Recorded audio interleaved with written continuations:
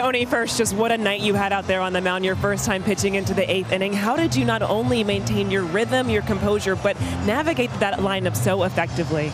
Uh, yeah, I mean, they're a really good lineup. You know, they hit top to bottom.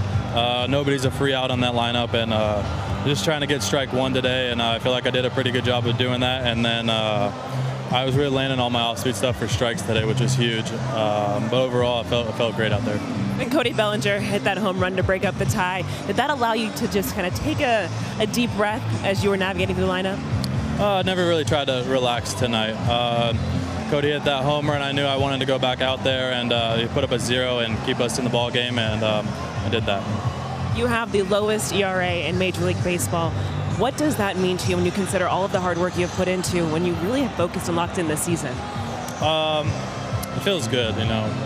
Just trying to go out there and uh, and do my job and keep us in games, and um, you know, hopefully uh, control what I can control, and um, you know, baseball is pretty hard. It's hard to hit a ball, and um, you know, sometimes they do, and it's that's okay as well. But uh, just trying to go out there and throw strikes. All right, now the All Star game is only a few weeks away. It is here at Dodger Stadium. What would it mean to you to be the starter for the National League in that game? Uh, I don't want to get ahead of myself at all. You know, I threw well tonight. Uh, I'm looking forward to next start, and um, uh, enjoy the night. And the goal is to win tomorrow. Thank you so much, Tony. You should be very proud about how this night went. Thank you.